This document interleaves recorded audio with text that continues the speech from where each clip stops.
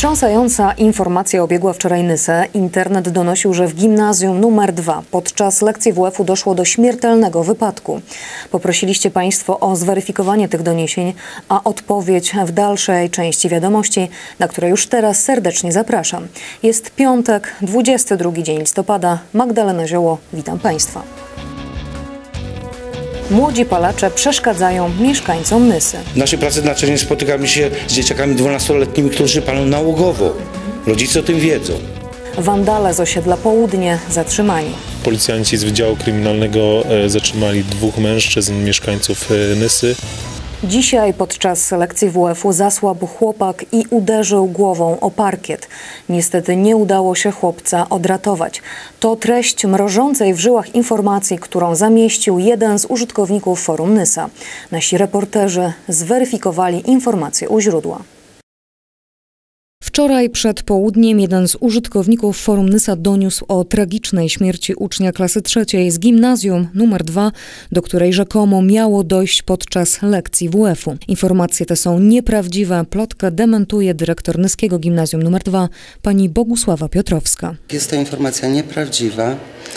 Y, W szkole dwa tygodnie temu miało miejsce zdarzenie y, y, podczas lekcji wychowania fizycznego po rozgrywce w piłkę nożną, kiedy dzieci schodziły z boiska, jeden z uczniów zasłabł i upadł. Przy czym nie uderzył się nigdzie, po prostu upadł.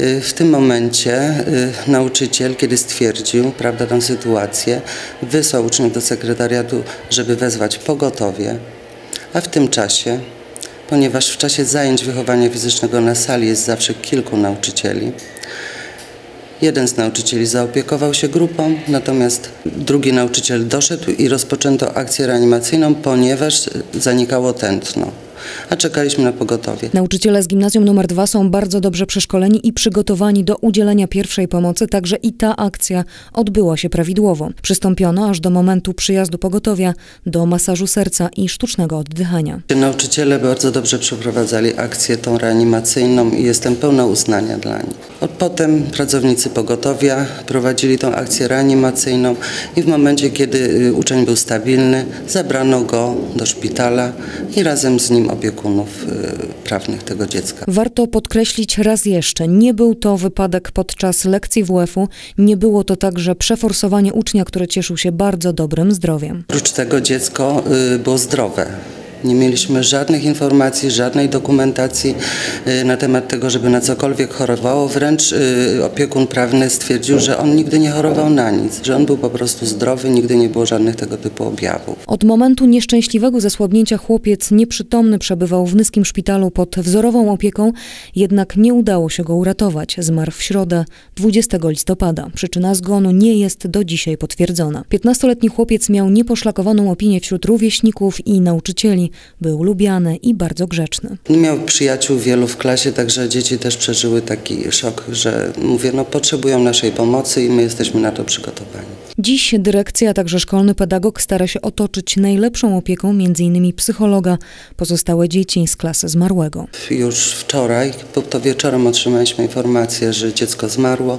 Już wczoraj pani pedagog nasza wraz z wychowawcą przeprowadziła e, zajęcia w klasie. Były rozmowy oczywiście, był płacz, ponieważ jest to wielka tragedia. Zresztą tak samo my nauczyciele właściwie potrzebowalibyśmy chyba takiej pomocy. I już y, po pogrzebie org- zorganizowane mamy y, spotkanie z psychologiem, który będzie wchodził do klasy, rozmawiał z dziećmi, prawda, i, i prowadził swoje działania tak, żeby tę sytuację jakoś unormować. Pogrzeb odbędzie się w sobotę o godzinie 12 na cmentarzu komunalnym. Palenie wśród młodzieży staje się coraz poważniejszym problemem. Zjawisku temu sprzyja niemal wszystko: koledzy, szkoła, starsze rodzeństwo, rodzice. Problemy piętrzą się, kiedy na małoletnich palaczy spływają skargi od mieszkańców Nysy. Jak to możliwe? Zgłoszoną interwencję sprawdzały nasze reporterki. Naśladując dorosłych za namową rówieśników z ciekawości dla dodania sobie animuszu, wielu młodych ludzi zaczyna palić papierosy. Utrwalone w wieku kilkunastu lat przyzwyczajenia do palenia doskwiera często przez całe życie. Stwierdzono bez żadnej wątpliwości, że palenie w młodości stwarza większe zagrożenie niż rozpoczęcie w późniejszym wieku. Po papierosy sięgamy coraz wcześniej. Widzimy, że już coraz młodsze dzieci już z gimnazjum przychodzą do nas z tym nałogiem, ponieważ kiedy prowadzimy ankiety, pytamy uczniów i uczennice, teraz też coraz popularniejszy jest to nauk wśród dziewcząt niestety. Mamy klasy tylko żeńskie, również na przykład sprzedawczynie. I pytamy, kiedy zaczęły palić i mówią dziewczęta, że już w wieku 13-14 lat. W naszej pracy na co dzień spotykamy się z dzieciakami 12-letnimi, którzy palą nałogowo. Rodzice o tym wiedzą. I to nie możemy udawać, że nie ma problemu. Szkoły próbują wielu metod na próbę zapobieganiu nałogu. I tak na przykład Nyski Zespół Szkół Technicznych radzi sobie następująco. E, Upomnienie wychowawcy, rozmowa, zgłoszenie rodzicowi. Później następuje już w przypadku trzeciego złapania ucznia, trzeciego razu złapania ucznia na mm, paleniu, mm, następuje przyznanie mu prac społecznych na rzecz szkoły. To jest pomoc panom konserwatorom w pracach y, tutaj malarskich, porządkowych, w przypadku dziewcząt panią sprzątaczką. No to ch- chyba źle, nie mi oceniać y, tego programu, ale uważam, że praca nie powinna być karą, bo to się później źle kojarzy w przyszłości, nie? Ale to jest moje zdanie. Kiedy zbyt dużym obciachem staje się odpracowywanie godzin ze szkolną sprzątaczką czy konserwatorem, jedynym wyjściem jest znalezienie bezpiecznego miejsca poza szkołą, gdzie sokoli wzrok pedagoga już nie sięga. I kiedy scenariusz ułożył się idealnie, a nikotynowy skwer stał się coraz bardziej popularny wśród młodzieży, a także sprzyjał integracji międzyklasowej, pojawiły się kolejne kłopoty. Nikotynowy raj znajduje się bowiem na podwórku tuż pod blokiem. Blokiem, w którym nie znaleziono zrozumienia na taki stan rzeczy. Mieszkańcy ulicy Chopina zaczęli skarżyć się na wulgarne zachowanie młodych, a także zaśmiecanie ich podwórka. Młodzież jednak się broni. Nie ma gdzie palić, to przychodzimy tutaj. Myślę, że ludzie w tych blokach są trochę przewrażliwieni, bo przychodzimy tutaj dosłownie na dwie minuty, zapalić papierosa i wracamy na lekcję. Nie jest głośno ani nic. Przychodzimy tutaj sobie przyjść zapalić, a nie żeby od razu wyklinać i nie wiadomo co, jakieś rozróbki. Z tego nawet rzucają bułkami, żebyśmy tu nie stali. I wodą czasami. Rzucają tu jakimś jedzeniem czy coś, żebyśmy tutaj nie stali, żebyśmy nie palili. Pogięci normalnie ludzie, nie? Nawet lepiej, żebyśmy tu przyszli zapalić, niż później odrabiać 20 godzin na przykład, nie?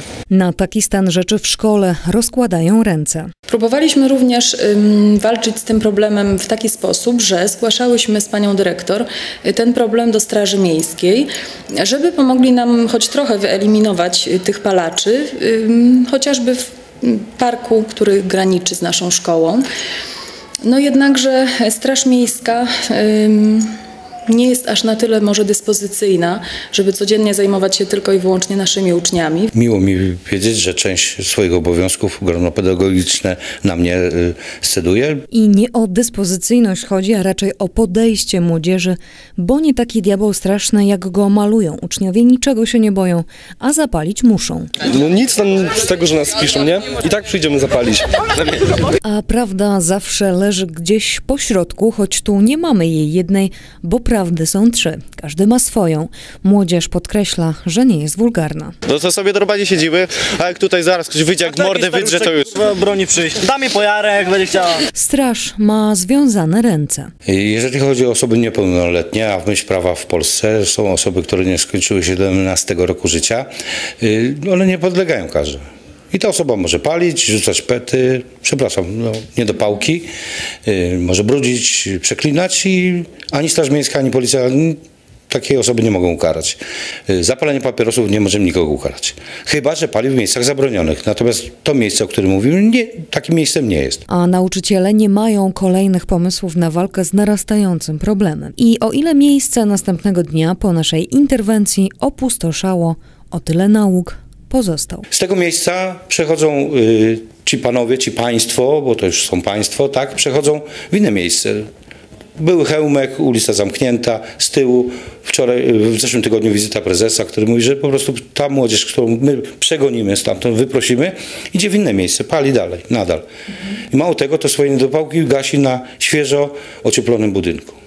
I trudno podsumować wnioski, bo tych nie ma. Trudno też o rozwiązanie, bo sprawa wygląda na nierozwiązywalną. Że powinniśmy zacząć wszystko od początku i o edukację w zakresie kultury osobistej poprosić rodziców.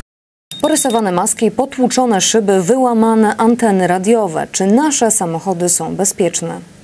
W październiku bieżącego roku doszło do zniszczenia mienia na osiedlu Południe. Uszkodzonych zostało 15 samochodów. Poszukiwania sprawców zakończyły się sukcesem 14 listopada, kiedy zostali oni zatrzymani przez funkcjonariuszy oddziału kryminalnego. O szczegółach opowiada pełniący obowiązki rzecznika prasowego Komendy Powiatowej Policji w Nysie starszy sierżant Grzegorz Sługocki. 14 listopada tego roku policjanci z Wydziału Kryminalnego e, zatrzymali dwóch mężczyzn, mieszkańców e, Nysy. Ci mężczyźni, jak z 10 na 11 października tego roku, dokonali zniszczeń 15 samochodów na ulicy Piłsudskiego i Sudeckiej. Do przedstawionych e, zarzutów przyznali się. Wartość całkowita tego zniszczonego mienia to jest 20 tysięcy złotych. Zapytaliśmy o czynności, jakie powinni podejmować mieszkańcy, aby dbać o bezpieczeństwo swego mienia we własnym zakresie. Ważne jest, aby mieszkańcy zwrócili uwagę, co te osoby młode robią na tych osiedlach, czy ich zachowanie jest szkodliwe, czy nie dochodzi do jakichś czynów wandalizmu. Choć zatrzymanie dwójki wandali wydaje się być sukcesem, to jednak tak naprawdę tylko kropla w morzu, bowiem na ich miejscu mogą pojawić się następni. Dlatego wspólnie z Komendą Powiatową Policji w Nysie apelujemy o uwagę i zwiększoną czujność. Stowarzyszenie Odnowienia Kościoła w Łopatynie od wielu lat prowadzi odbudowę tamtejszej świątyni. W środę w Nysie odbyła się konferencja podsumowująca kolejny etap odbudowy tego cennego zabytku. Stowarzyszenie od wielu lat pozyskuje środki na odbudowę kościoła, który po wysiedleniu Polaków popadł w ruinę. W ciągu ostatnich kilku lat dzięki znacznym środkom i wkładowi finansowemu udało się dźwignąć kościół z gruzów i przywrócić mu choć częściowo dawną świetność. Jak kiedyś wyglądał, że był rozwalony na, na, na dachu, to tak z przodu przy wejściu kościoła to drzewa rosły, a teraz jest odnowiony kościół nabrał takiego wyglądu, że przyciąga ludzi do siebie. Oprócz samej odbudowy przeprowadzono także rekonstrukcję dawnej wieży na podstawie zachowanych rysunków oraz fotografii. Zrobiliśmy w zeszłym roku y, taką dzwonnicę, która no, wcześniej była rozwalona w czasie wojny. My w zeszłym roku zrobiliśmy tą dzwonnicę. Te dzwony, które były zakopane tam pod kościołem, zostały wykopane, odnowione i teraz założone w zeszłym roku było właśnie od tego otwarcia tej dzwonnicy. Wewnątrz obiektu przed konserwatorami długa i żmudna praca. Aktualnie konserwowane są freski w transepcie przedstawiające sceny z życia Matki Boskiej.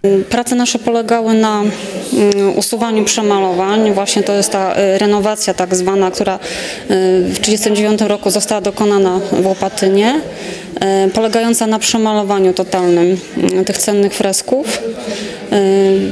Całe prace więc były nastawione na to, aby usunąć maksymalnie przemalówki, które fałszują całkowicie oryginał. Następny etap to konserwacja tak zwana techniczna. Mm, jakiś zacierek wtórnych, kitów, mm, rekonstrukcja ubytków, y, zapraw. No oczywiście najważniejszy etap końcowy estetyka, czyli y, retusze y, polichromii, które wymagają już jakiejś, jakiejś wiedzy, umiejętności, dlatego mamy grupę doświadczoną, która sprawdziła się w tych pracach już od kilku lat. Kiedy ludzie muszą opuścić swoje domy, zostawiają swój dorobek i zabierają tylko najpotrzebniejsze rzeczy. Jednak z Łopatyna przywieźli jeszcze jeden niezwykle cenny obraz. Mamy bardzo ciekawy, mogę powiedzieć cudowny obraz Matki Bożej Łopatyńskiej, którym, jest, którym przyjechał zaraz y, po wojnie z mieszkańcami, byłymi mieszkańcami Łopatyna, którzy przymusowo byli wysiedleni i wszyscy razem wyjeżdżając w tą taką nieznaną tułaczkę nie zostawili tej Matki Bożej y, na poniewierkę, tylko zabrali sobą. Na spotkaniu nie zabrakło oczywiście dawnych mieszkańców Kresów Wschodnich, którzy z radością wspominali swoje dawne lata młodości, kiedy to Polska cieszyła się odzyskaniem niepodległości po I wojnie światowej. No dosyć, dosyć przyjemnie. Tam chodziłem w Łopatynie do szkoły. Ta szkoła była w 1932 roku zbudowana jako nowa i zastosowano w niej e, nowoczesne materiały. To było takie coś ciekawego, że ta szkoła e, do dnia dzisiejszego stoi jako taka piękna, bardzo piękna szkoła, udana, jak to mówię. Jak przyznają członkowie stowarzyszenia, z wiekiem coraz ciężej dbać im o zabytek i zbierać na kosztowne remonty. Pocieszające jest to, iż grono stowarzyszenia zasilają także młodzi ludzie, którzy pamiętają o swoich korzeniach. To wszystko, co przygotowaliśmy na dzisiaj. Dziękuję Państwu za uwagę, a na kolejne wydanie wiadomości zapraszam już tuż po weekendzie w poniedziałek 25 listopada. Do zobaczenia.